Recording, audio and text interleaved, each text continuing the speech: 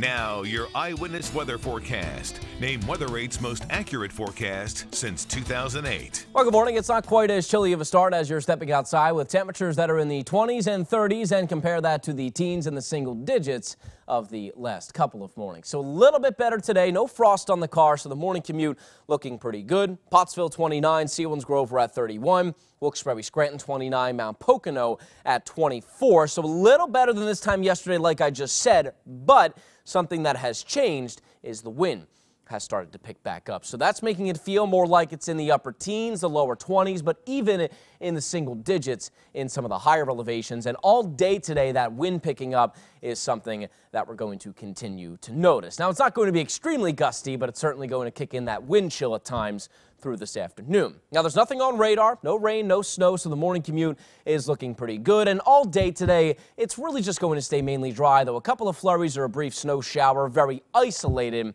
is something that can't be ruled out. Temperature into the lower, mid, and the upper 30s, so we'll have a good wide range in that as we go through the day today, and that'll really be elevation based going into this afternoon. And a lot of us are going to be pretty seasonal for this time of year, if not just right above average. As that cold front goes through today, that's what helps gives us a snow shower. But remember, that's going to be pretty isolated for the most part. And as we go through tonight and tomorrow, an area of high pressure settles in very briefly, but it's here just enough to break up the cloud cover and give us a little sunshine for the first part of the day tomorrow.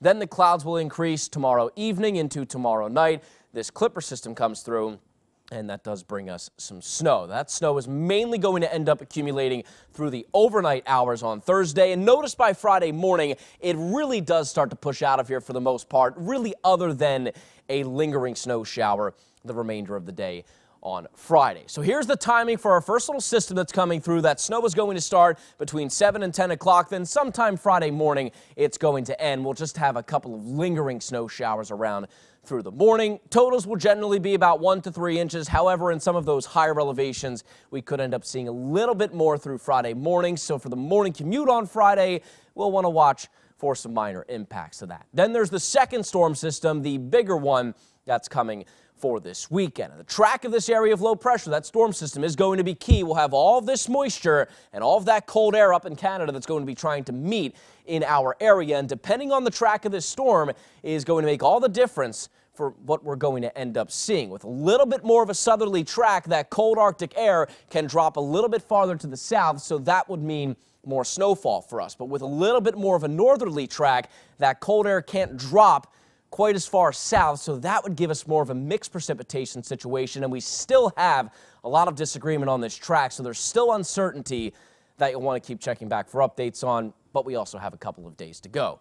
38 for the high today in the eyewitness weather forecast. Windy, chilly, mostly cloudy, isolated snow shower, or just a couple of flurries. 18 tonight, 30 tomorrow, and then the snow comes Thursday night into Friday. Second storm system is here this weekend, obviously. That will be out of here by late Sunday. 26 with the temperature falling all day Sunday afternoon, and then it's bitterly cold Monday and really into Tuesday as well. And you can always download the Eyewitness Weather app for your latest updates on the weather.